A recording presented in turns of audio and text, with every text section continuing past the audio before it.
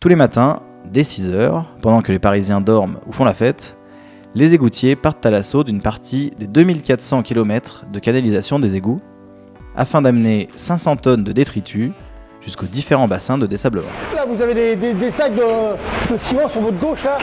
Des- la dernière remorque. Moi, la manœuvre qu'on a fait, on a, on a retiré ça, vous voyez.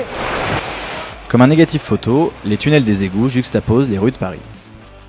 Ces sables sont évacués à l'aide du bateau-van. Cet entretien permanent des collecteurs occupe la majorité de leur temps de travail. Dans cet organe vital au bon fonctionnement de Paris, Gilles Lefeu nous sert de guide pour mieux comprendre ce qu'est concrètement le travail des gouttiers et l'activité principale tout au long de l'année, le curage. Je m'appelle Gilles Lefeu, j'ai 56 ans et ça fait 35 ans que je suis à la SAP. Alors, ma première ouverture de plaque, il y a 20 ans. Il y a 20 ans. C'était euh, France Lix, sur le collecteur des coteaux. D'ouvrir les, rues de Paris pour faire en- rentrer un engin de curage, c'est c'est super.